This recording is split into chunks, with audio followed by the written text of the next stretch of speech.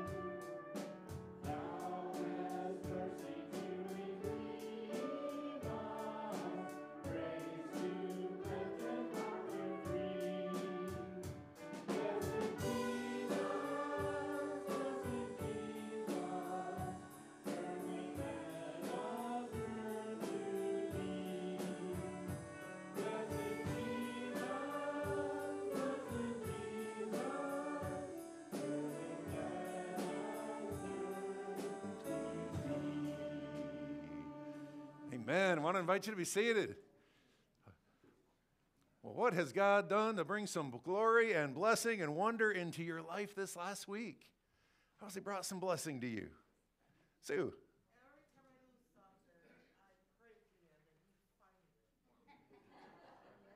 Amen. We like it. Heather.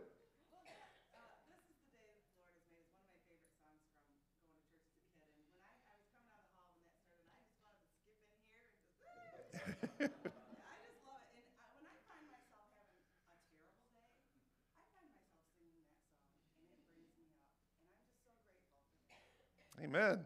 We could do that every Sunday. I love it. Karen.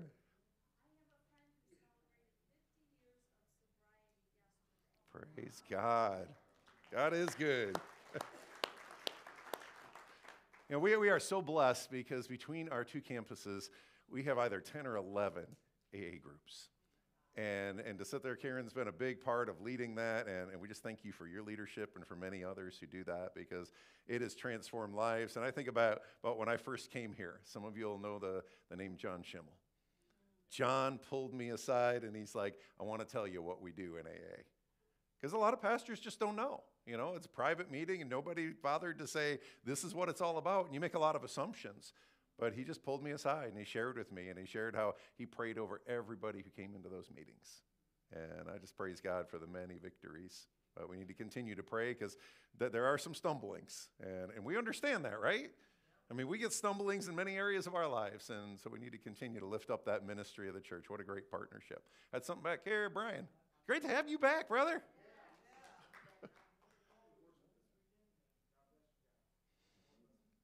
Hey, y'all got to pray for Brian too.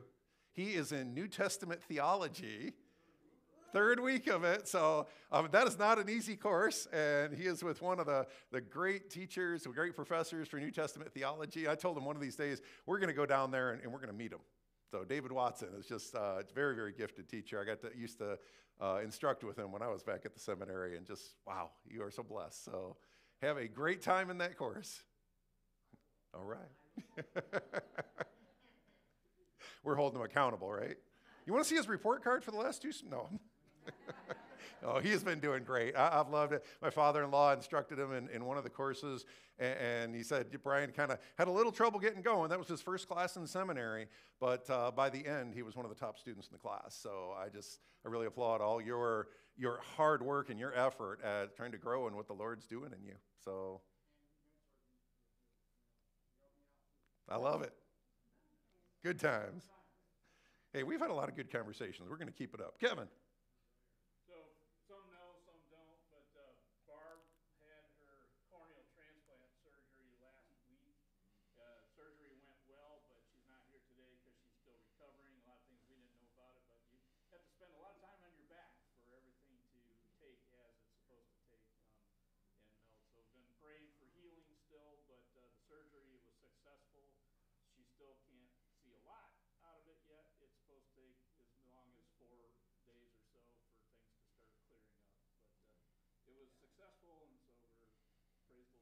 All right, so praise God for his work and his healing in her life and surgeon that was involved in that. We just pray for her continued healing, that full recovery. How's Jeff doing?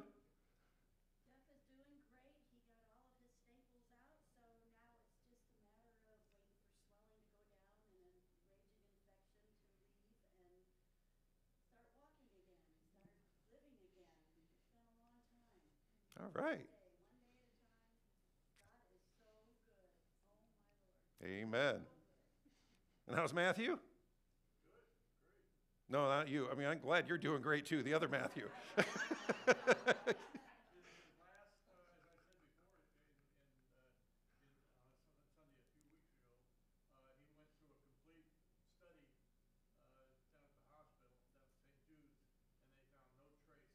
Amen. Amen. And you're doing well because you and I talk all the time, and God's just bringing more strength to your body every day. I love it. And then how's the other Matthew doing?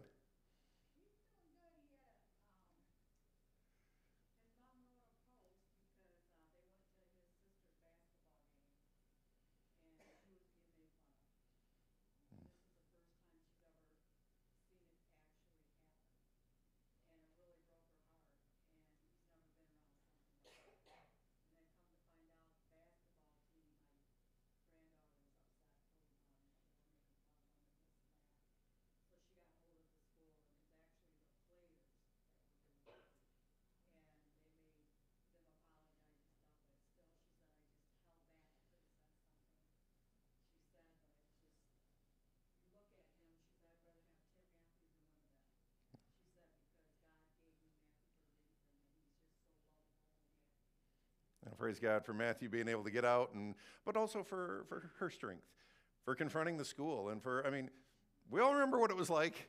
I mean, some kids need some lessons. They need to be raised up. They need to be taught, and that was an opportunity to teach. And as much as that hurt,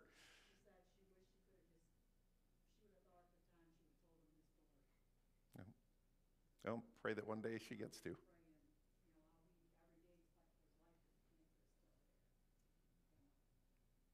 Let's pray, my friends. Our gracious Lord and God, we thank you. We thank you for the many witnesses of your healing, of your strength, of your help in our lives. Lord, we we experience it on our own, but Lord, uh, to come in here in this time, in this place, and, and give you all praise and all thanks for, for these things, Lord, to witness to one another and to remind one another of your healing hand, of the strength that you give in every circumstance. Lord, you have indeed transformed us, renewed us, and you have walked with us every day. Lord, we come this day praising and giving thanks to you again knowing that you are with us and knowing that we can bring our every need before you. And so, Lord, as we look inside of our own lives and we see some of the difficulties, some of the challenges that we're dealing with right now, Lord, we come lifting these before you. Lord, as we look into family and friends and neighbors and, and coworkers, and Lord, just people that we have as our acquaintances, Lord, there are some situations that we're aware of. And we come lifting those before you. And Lord, there are things going on on a world scale where nations are fighting against nations. Lord, where the pain and the suffering is immense. Lord, where there are those who are, dealing with such great loss and those who don't have food to put in their mouth each day. Lord, there are so many things in this world, and you call us as your people to be your hands, your feet, your presence. Lord, through the gifts of our hands, we come and bring offerings. We engage in missions around the world. We support missionaries and we support people and we support so many projects. But Lord, you tell us that our greatest gift, our greatest support comes through the power of prayer. Lord, we continue to do all of these things with all that we have. But Lord, we also come in this great time of prayer, lifting up our every need and every need that we're aware of, seeking that your mighty hand would move in this world and that people would experience your blessing, your healing, and your wholeness. So, Lord, we come in these moments. We just lift up a few circumstances, a few situations, a few people. We want to lift them up to you by name, Lord.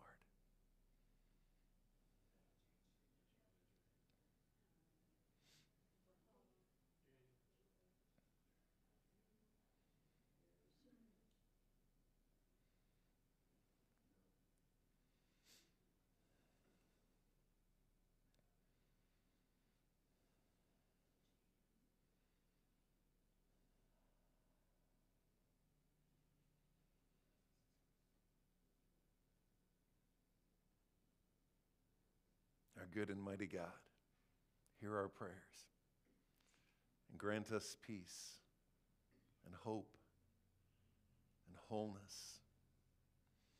Grant us strength that stretches far beyond that, that which we possess in ourselves.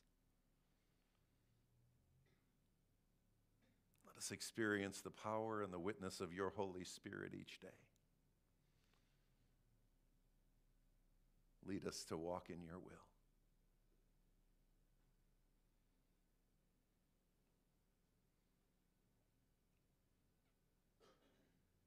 Father, we come lifting this prayer unto you that your Son, our Savior, first taught as we pray Our Father, who art in heaven, hallowed be thy name.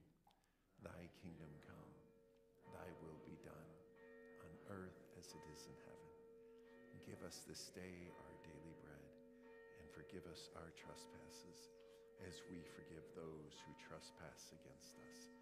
And lead us not into temptation deliver us from evil. For thine is the kingdom and the power and the glory forever. Amen. Friends, let us come together as the body of Christ this day and let us bring our tithes and our offerings unto the Lord our God.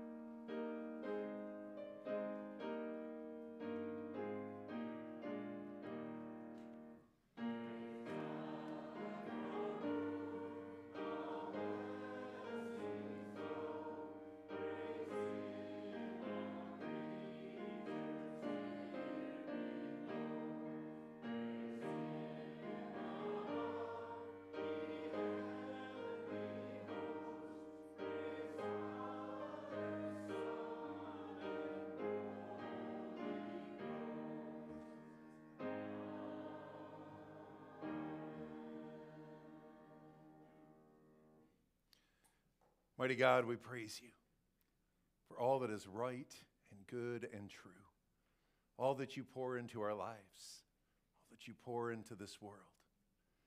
Lord, we pray as we bring our offerings and our tithes, as we bring our very lives, Lord, offering all of the gifts and the talents that you have placed in us.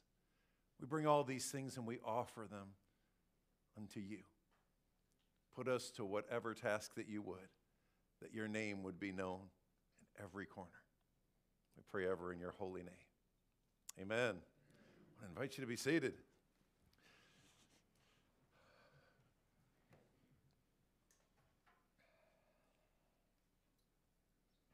Do you love this book?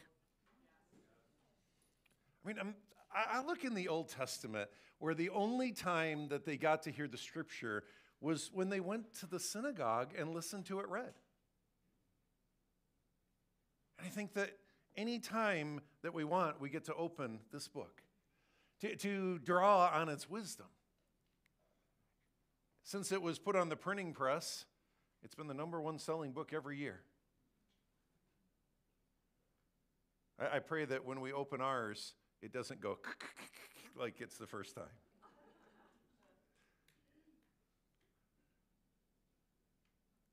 I, have I found myself in the Old Testament the last couple weeks, and over some scripture that I read in the book of Kings that I've read many times. And it challenged me in a new way.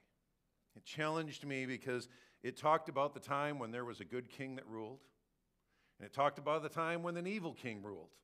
But then there was a third group, and somehow I missed catching this little bit. There's two different versions of good kings. There were good kings that came into the land, they did what was good in the eyes of the Lord, and they tore down all of the shrines, the altars, the evil things, and then there were those that didn't. And I think about that as a pastor, I think about that as a Christian. How many times we, we step into the place of saying, well, at least I'm not doing the wrong thing. It's really easy to become like that as Christians. Say, I, am doing right, I'm following in the right way. I'm, that's kind of what the Pharisees did, isn't it? I mean, they came up with their, their laws and their rules and their oral traditions and all the things that you were supposed to do. And, and, and if you were doing that, that, then God would be really pleased.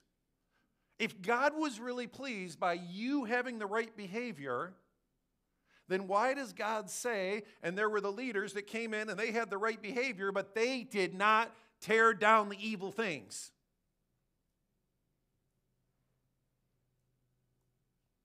It gets me wrestling in our lives. Yeah, just like Louise talked today about the element of, of standing up and saying, this, this was wrong, that this boy was treated this way. And, and, to challenge people, to be called to actions, to tear down the wrong behavior, the wrong attitudes. The, it's so easy for us to just go along and say, if I'm doing right, everything's okay. And yet we see evil all around us in the world, and, and, and we're called to act.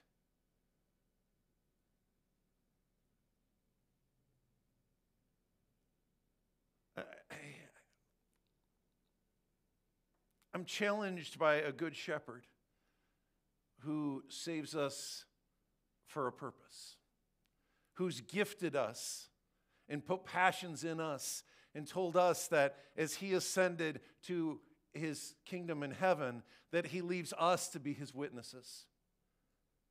That he leads us, leaves us to, by the strength of the Holy Spirit, proclaim the truth in our world. It's so much easier to be silent because people don't get upset with us that way, right? People don't get agitated. People don't get offended. We're just silent and we do our Sunday morning thing and, and all is well. I think there were a lot of kings in Israel that that's what they did. They did their king thing. But they didn't seek to bring about a change in the land. I pray that we as a congregation, we are praying over our community, praying over our world, and seeking God's change in every life. That we would never surrender to the point of just saying, hey, I go to church, that's good enough. I worship God, it's okay. I'm trying to live a right life. That should be all that's required of me.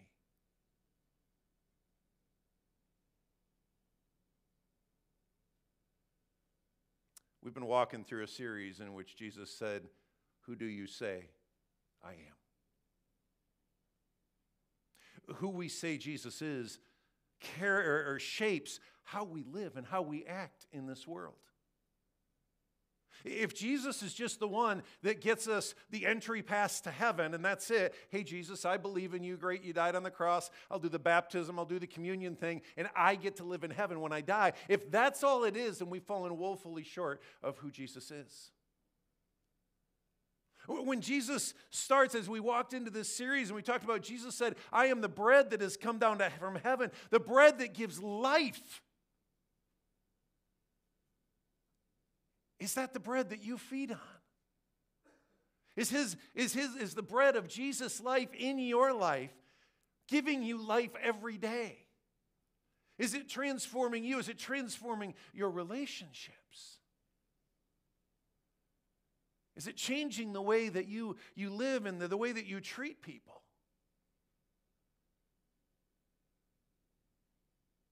Jesus says, I'm the light of the world.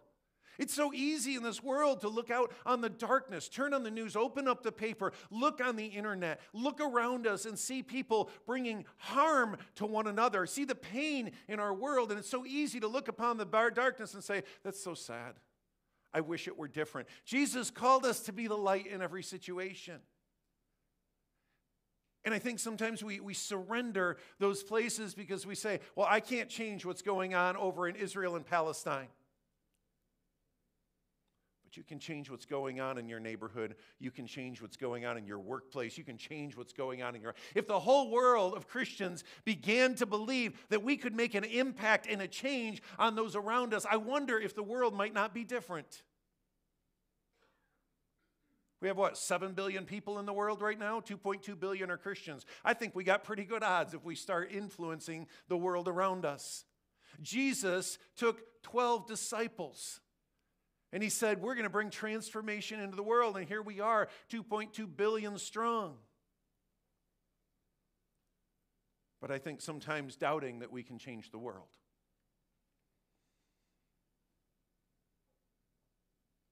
He's the light of the world poured out into us. Last week we dealt with, he's, he's the gate. He's the gate of the sheep pen. He's the shepherd who leads us in and leads us out and doesn't sneak over the wall and doesn't come up with a bunch of rules and say, if you, if you want to have a good relationship with God, just follow rules and this is the way it, it's done. Jesus said, No, I want to know you. It's not about a religion, it's about a relationship. Yeah. That's exciting. That, that we have a Savior who, who knows us that well. And today we're going to dig into a next I am statement of Jesus where he says, I'm the good shepherd. And last week we, we dealt with a little of, of how the Eastern shepherds are a little different than the shepherds here. I, I, I, don't know how true this is, but I was looking up some statistics, and it said last year shepherds lost over a half million sheep. I mean, they, they drowned in streams and they got caught up in areas and they got attacked by animals and they got. I don't know if that's a lot or not a lot, but that seems like a lot to me but last week we talked about the Eastern shepherd who, who knew all of his sheep, who called them by name, much like we would call a family pet. Who every night, as he brought them into the sheep pen, he examined every one for any injuries that might compromise their lives who put them in the protection of, of the sheep pen and made sure that they were guarded and that they were safe as they, so they could rest at night. And then in the day, he didn't just send them out into the pasture, he led them out into the pasture. And we often in Christianity, we see, we see the, the shepherd with the shepherd's crook. And, and what is the point of that thing? Is it just so you look important? You walk around with that? And, but the element was is like that's that's how he protected the sheep as they were as they were getting near the thorn bush. I mean, he'd take that and pull it around their neck and kind of pull them back so they wouldn't get snagged there. He'd pull them away from the water because, you know, you'd have to take them down to get some water, right? They, they needed that. But a sheep is just lacking a little brain power, kind of like us sometimes. It, it gets up to the edge of the stream and it's like, oh, this is refreshing, this is great, and it just keeps on going out into the water. And the problem is, it's, it starts to saturate the underside of it. And you've seen a sheep's legs, right? There's not much there. And it's like it saturates, and the weight of the thing gets heavier and heavier, and then it sinks down into the water and it drowns. And so the shepherd is constantly pulling it back from that danger. But then that, that, that shepherd's staff was also to fend off any wolves or any other animals that, that would come and seek to attack it. And he, it was incredible when Jesus says, I'm the good shepherd. Let, us get into the opening scripture here in John. Well, we already got past that, buddy. Next one. It says, I'm the good shepherd. The good shepherd lays down his life for the sheep. The hired hand is not the shepherd and does not own the sheep. So when he sees the wolf coming, he abandons the sheep and he runs away, and then the wolf attacks and the flock scatters it.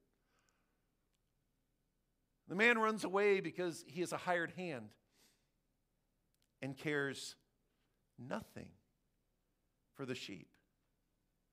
Jesus is saying, I'm the good shepherd. I'm different than the one that is hired. I know my sheep, I know them by name, and I care for them and I'll defend any one of them with my own life. I'm the good shepherd. Uh, apparently, there's a difference between one for whom it's just a job and one who says, You belong to me. Well, we kind of get that, right? I mean, if, if there was a threat against our family, let's say against our, a, a, a child, what are we going to do? Hey, you run that way and draw their fire so I can that's what it does in the movies. You never. You put yourself between them and the threat, right? Every time. You would fight with all you had to protect them. And Jesus is saying, That's the kind of shepherd that I am, and you're my sheep. I'll stand between you and any threat. He said, Now, the, the, the hired hands, they're different they're different critters. The hired hands are ones who, well, it's, it's you Pharisees. It's you who just stand out there and load burdens on people and say, here's all these laws and these rituals and these rules, and they, they shame you and they tell you all the ways that you're falling short, and, and they say, you really not, aren't worthy of the kingdom of God. Jesus says, no, I, there, there's something different here. There's a threat in that, and there's threats all around you, and I'm the good shepherd that wants to protect you. I'll never abandon you. I'll never treat you as the outsider. I, think of the image in the Old Testament of, of the good shepherd who protects his sheep with this, and, and it comes out of 1 Samuel 17. This is King David before he was a king. Says David said to Saul, Your servant has been keeping the father's sheep. When a lion or a bear came and carried off a sheep from the flock, I went after it, struck it, and rescued the sheep from its mouth. I, I don't know about you all, but I mean, wolves were dangerous enough. But David's sitting here and saying, I'm the kind of shepherd that when a lion or a bear comes and takes one of the sheep, I go and I strike it. Do you hear the personal nature of this? David didn't just look and say, Hey, I got a couple hundred other sheep. I'm okay. It's just one. He went and hunted it down. And in the face of, I don't know what you do in front of a bear, but I, I think I'd be trembling. He's fearless. He cares about one thing. He cares about that sheep, the life of that sheep. says, when he turned on me, I seized it by its hair and I struck and killed it. Your servant has killed both the lion and the bear. This uncircumcised Philistine will be like one of them because he has defied the armies of the living God.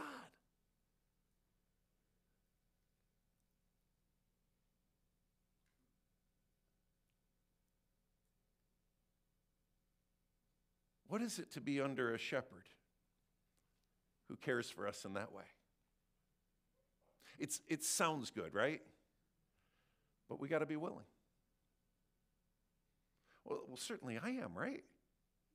That's what you're thinking in your mind. Like, I'm willing. I'm willing to let him be a shepherd like that. But are you willing to surrender your life to him?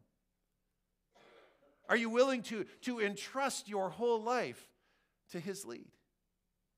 Because one of our challenges as Christians is that we, we surrender what we're willing to surrender, what we're comfortable surrendering. We say, Jesus, I'll give you this much because this is what I'm okay with. But the rest, I want to stay in control, but I want you to be my good shepherd. It doesn't work that way, does it? You can't be under his protection and his provision where you're comfortable and the rest of the time say, Well, I'm going to do it my way and say, But I want all the protection and provision. In verses 14 and 15, Jesus speaks a little bit more. Says, I'm the good shepherd. How many times is he going to say this to us, right? It's actually in this short little passage, he says it four times. I am the good shepherd. I know my sheep, and my sheep know me. Just as the Father knows me, and I know the Father, and I lay down my life for the sheep. In John 15, 13, a little later in this gospel, he again says words. He says, Greater love has no one than this, that he lays down his life for his friends. This is our Savior. And this statement that he that he's a good shepherd, that he lays down his life for us, it ought to elicit something in us feelings, convictions, elements of, of knowing who he is, of knowing his character and his nature of knowing what a, what a good shepherd truly is, and knowing that he is the only one who can protect us, who can rescue us from the things that are our enemies, the things that are the threats in our lives. We know the greatest one is sin, right? Only to be followed by Satan. But is that all the thing that's in your are those all the things that are in your life that are threats, that are enemies? Or are there others that show up in your daily life? Are there other things that, that, that come as a threat against you? And will you allow Jesus to be the one who protects you? Whether it be a mental or emotional or physical or spiritual, whatever is attacking you, whatever is threatening you each day, are you willing to wholly put that into Jesus' hands? Is it people who come at you like wolves in sheep's clothing?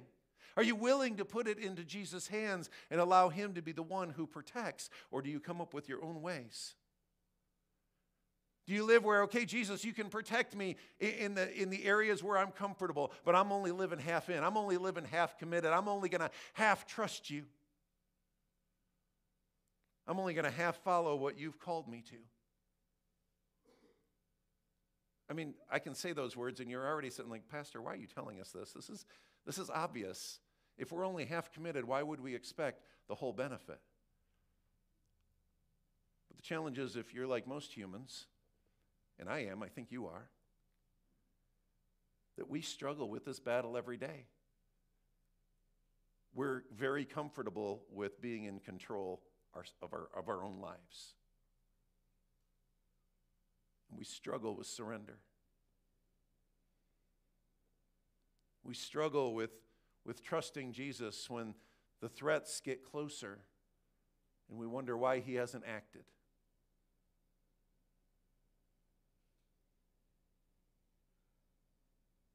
When the enemies seem to have such great power and we wonder where is God?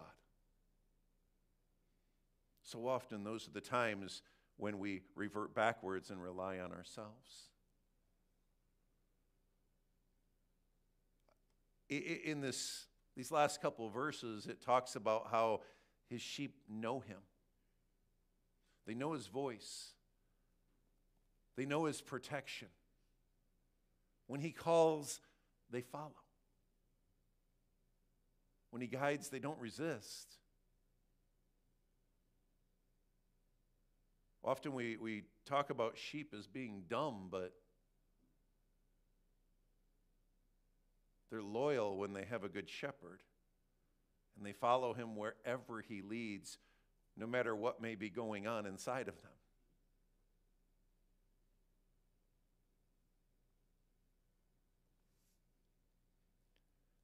I think it's so easy to be a Christian and sometimes just muddle through, still holding on to part of that control when Jesus intended us to have victory and abundant life in the here and now. Where his aim was not just a, a pass that gets you into heaven, but his aim was to give us a life that was full. A life that was abundant, a life that was joyous, a life that's here and now.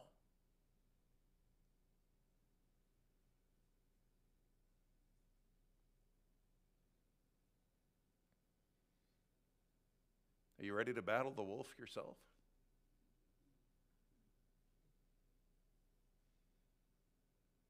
That's our challenge.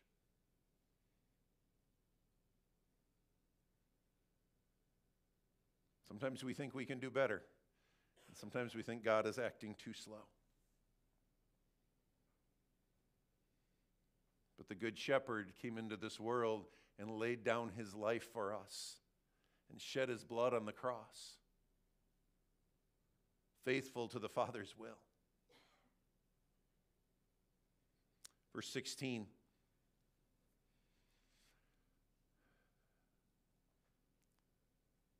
Next one, buddy.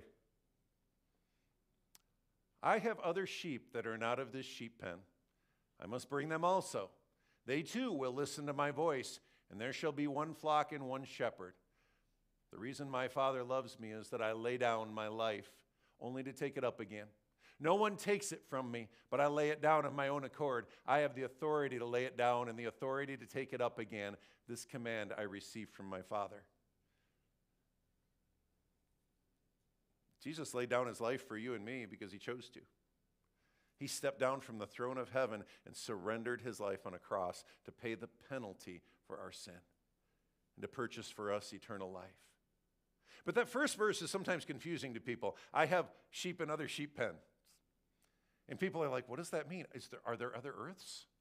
What is he talking about there? And it's important that we, that we dig into that because sometimes we, we come across a scripture like that and either we assume we know what it means or we just skip over it because we're confused and, well, we're not going to worry about it, which is not the answer. Who is Jesus talking to? He's talking to a group who are Jews, right? So when he says, I have sheep of other sheep pens, he's simply saying something as straightforward as, I have sheep that are part of pens that are not Jews. In other words, it's good news for us because we are the Gentiles. We are the ones who are, are, on the outside of that. And Jesus says, wait a second, no, not on the outside. I came not just as a savior for the Jews, but for all of mankind. For God so loved what? The, the whole world, right? For God so loved the world, not just the Jews. For God so loved the world, not just the important. For God so loved the world, not just. For God so loved the world. And all of this is taking place in the shadow of the story that was written in the last chapter about the blind man that was healed. And all that the Pharisees want to do is get this blind man to accuse Jesus so that they can reject Jesus. And Jesus is saying, wait a second, I care for my sheep. I celebrate when, when there's healing in my sheep. All you want to do is accuse. You should be rejoicing that this man who was blind from birth can now see. That this man who you've treated as unclean, unacceptable in the temple, unacceptable in society, that you weren't to touch him or you too would become unclean. That he has been healed, that he has been restored, that he has, he has been returned to that full relationship. And all you can do is want to use him as an accuser. Do we rejoice when one sheep returns? Do we rejoice when one is saved? You seem really quiet.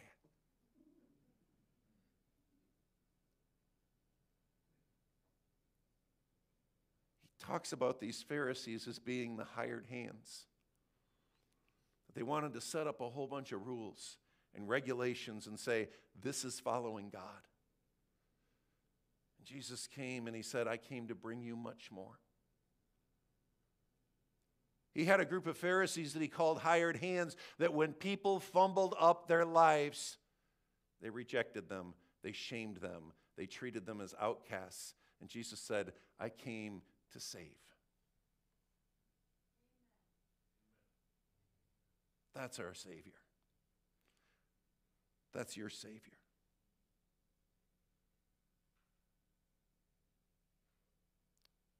Listen in verses 19 through 21. This was the response. The Jews who heard these words were divided. Many of them said, He's demon possessed. He's raving mad. Why listen to him? But others said, These are not the sayings of a man possessed by a demon. Can a demon open the eyes of a blind man? There's still confusion. Who do they want to follow? The people who you just get to do your check boxes in the Jewish religion? Or the Savior who says, I'm a good shepherd and I will put my life between you and any enemy. Any enemy. I will protect you day and night. I will give you provision. What kind of a life do you want to live? What kind of a relationship with God do you want? Check boxes? Or a Savior who will do all for you, who will sacrifice everything for you? Friends, we, we can't live as half in. We can't live and follow Jesus where it's convenient. It's time to trust the Good Shepherd. Maybe your life has been characterized by that for many years.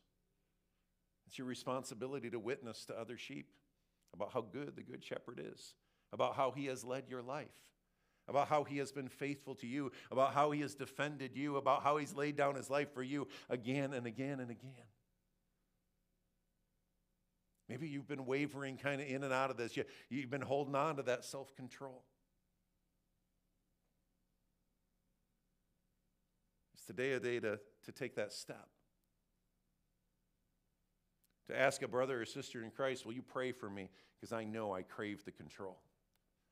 I know I'm more comfortable making my own decisions. Is this a day where you take that step and say, I want to learn what it is to live completely under the Good Shepherd? Maybe you've never surrendered. Maybe you've uh, attended church and you've learned more about Jesus and, and it interests you, but, but that, that actual step of saying, okay, I, I'm, going to surrender. I, I get this good shepherd thing and I don't get it, but I trust that you will stand between me and the enemies.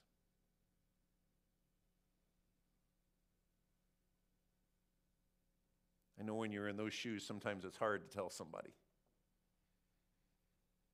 But I want to challenge you to do that. Ask somebody to be praying for you every day.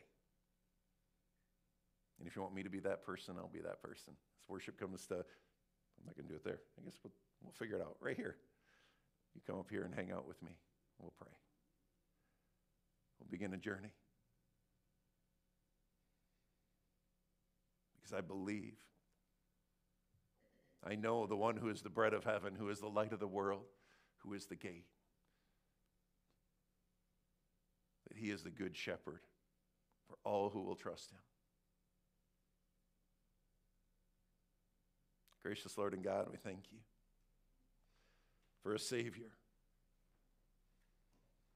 who's willing to lay down his life for his sheep.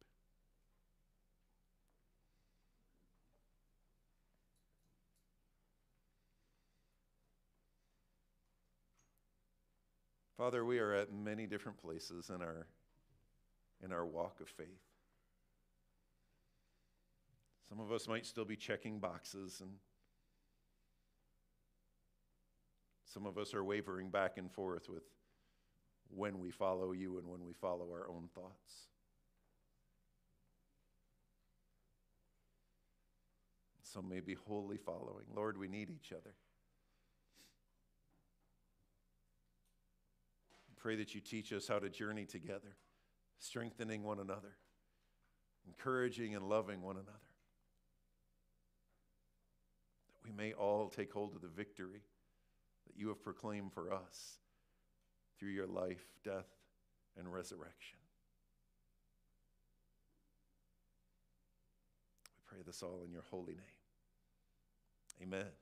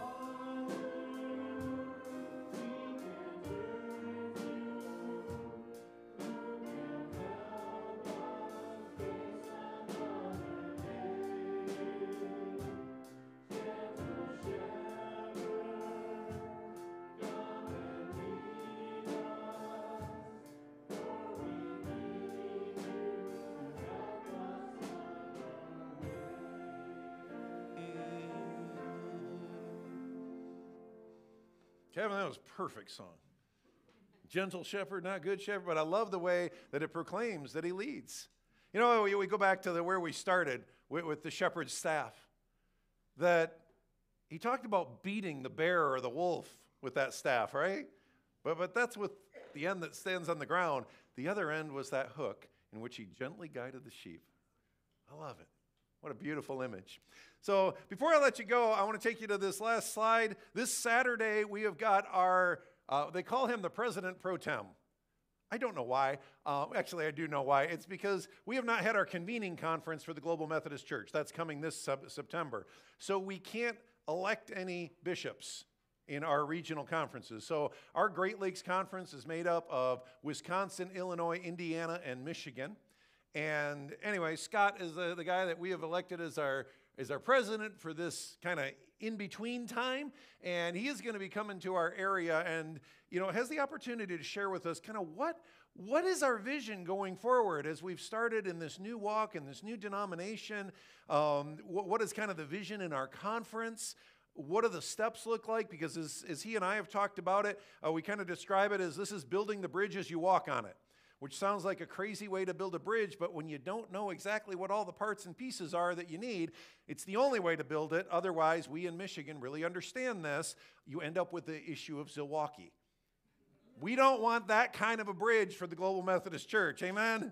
Okay, so Scott's going to be coming in. He's going to meet with clergy at 3:30, and then he's got a time with laity at six o'clock, and it's right around the corner at South Monday Church.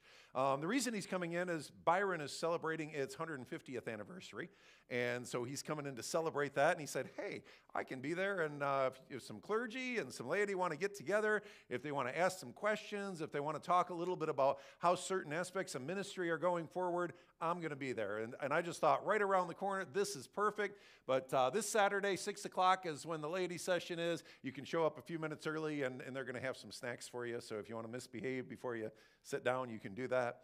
But uh, I want to invite you to come out. If uh, they're asking to RSVP, that's mostly for the dinner, but we also know that South Monday only holds 150 people, so um, and we've invited like 40 different congregations. Um, so that, that could quickly get, get big. If you would like to come to that, just let me know. And that way I can give them a number and, and we're making sure that we've got space for everybody. So, in the meantime, just pray for our Great Lakes Conference, pray for the ministry uh, of Holly Calvary, and pray for the ministry uh, on our campus in Davisburg. We are continuing to, to work on that, and it looks like we are going to get in the sanctuary. So, I am excited about that. Uh, we, we, did not think that was a possibility, but uh, we're working on that. I'll unpack that and share that a little bit more uh, in, the, in the coming weeks and months here. So I've got Janet back there. So if this is your first time with us, or if you want to just know a little bit more about some of the things that are going on, she will be happy to share with you. She's in the very back by the. If there was sun, we'd let the, those blinds be open and shine in. But uh, we, we worship the Son of God. Amen. Friends, let us go forth this day.